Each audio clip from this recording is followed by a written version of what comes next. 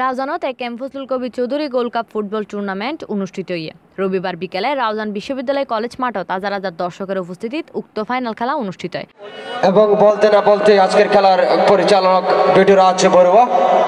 টুর্নামেন্টত Faraz Karim football একাদশের হারাই এনে চ্যাম্পিয়ন হবার গৌরব অর্জন করে উনসত্তর পাড়া বয়েজ ক্লাব। টুর্নামেন্ট পরিচালনা কমিটির আহ্বায়ক আলহাজ আহসান হাবিব চৌধুরী হাসানের সভাপতিত্বে ও যুগ্ম আহ্বায়ক তপনদের পরিচালনায় পুরস্কার বিতরণ অনুষ্ঠানত প্রধান অতিথি আছিল রেলপথ মন্ত্রণালয় সম্পর্কিত সংসদীয় স্থায়ী কমিটির সভাপতি A B M Fazle Karim Chowdhury MP আমরা যারা এই খেলাটাকে পরিচালনা করেছে দীর্ঘ অনেক দিন অনেক বাধার মাঝেও তারা অত্যন্ত সুন্দর করে অনুষ্ঠানত বিশেষ অতিথি আছিল রাউজান উপজেলা আওয়ামী লীগের ভারপ্রাপ্ত সভাপতি কামাল উদ্দিন আহমেদ রাউজান পৌরসভার প্যানেল মেয়র আলহাজ বশিরউদ্দিন খান রাউজান উপজেলা যুবলীগের সভাপতি জমির উদ্দিন পারভেজ সহ আরও বোধকে। খেলা শেষে চ্যাম্পিয়ন এবং রানার্স আপ দলের আতত ট্রফি তুলে দেয় A B M Fazle Karim Chowdhury MP.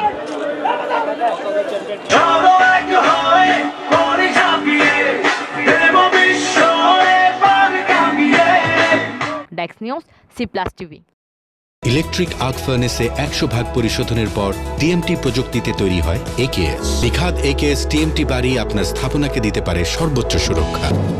AKS